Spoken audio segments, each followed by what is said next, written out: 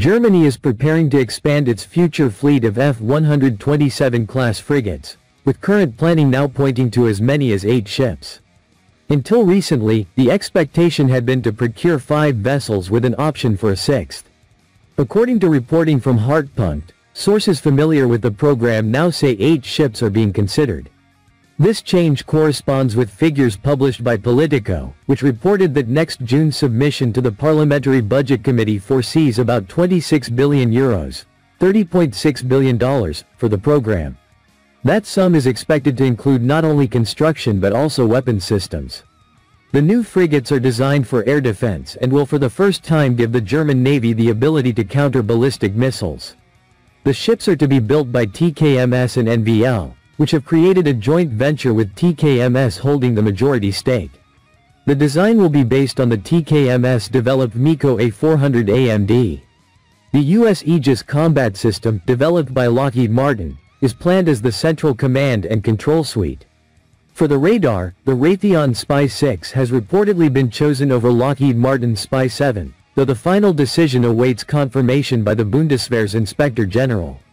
An additional contract for more F-127s would provide momentum for both shipbuilders. TKMS is in the process of separating from its parent company, ThyssenKrupp, ahead of a stock market listing. NVL is meanwhile being acquired by Rheinmetall, with the deal expected to close in the coming months. Another procurement decision looms over the F-126 class frigates, designed primarily for anti-submarine warfare. That program has been delayed due to technical problems with the Dutch prime contractor Damen. According to reports, software issues prevented the proper transfer of design data to German yards. Industry sources indicate that three options have been under discussion, continuing with Damen as prime, canceling the project outright, or transferring leadership to a German yard.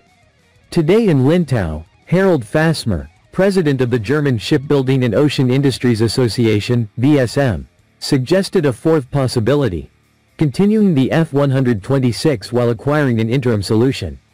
Observers say this two-track approach is being considered in Berlin. Considerable investment has already been made in the design phase, with subcontractors such as Thales supplying the combat management system. Shifting prime responsibility to NVL, already the largest subcontractor through its subsidiary Blohm plus Voss, is viewed as a likely outcome. As a bridge capability, industry watchers believe TKMS could be tasked with building MEKO 200 class frigates.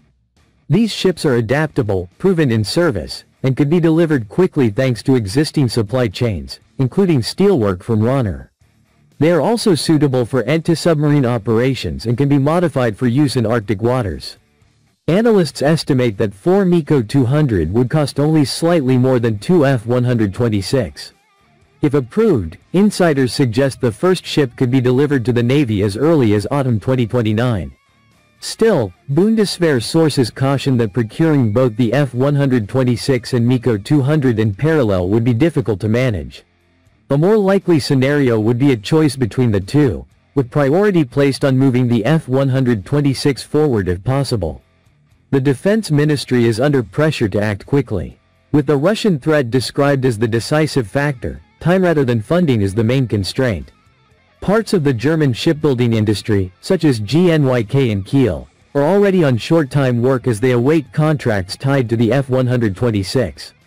As Hartpunkt reported, the final decision rests with the Ministry of Defense, which must balance industrial stability with the Navy's urgent need for new ships.